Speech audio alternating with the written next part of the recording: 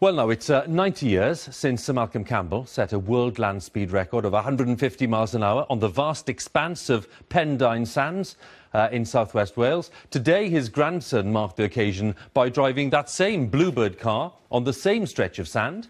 And our Wales correspondent, Hywel Griffith, was there to see it. Flying once more along the coast of South Wales. Bluebird's engine hasn't roared like this since the 1920s, and it started a race for the record books. When Sir Malcolm Campbell took the wheel 90 years ago, the car had already claimed two land speed titles.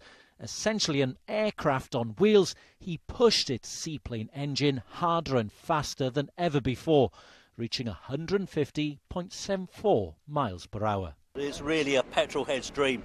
Um, special race car with massive history, massive engine, and all the power you could possibly need. The only restriction of this thing going faster is the technology of the tyres and the chassis. Even now, this car commands a crowd. Hundreds of people have driven here to see it in action. Its story is part of Britain's post war 1920s pioneering history. Today's drive wasn't at full throttle, moving at a more modest 50 miles per hour. It meant spectators did see more than just a blue blur, while Sir Malcolm Campbell's grandson got to enjoy the ride. Very exhilarating. It's fantastic fun. Um, to get the sand sort of splattering in your face uh, and uh, the noise and the exhaust coming at you, it's a fabulous experience. It really is.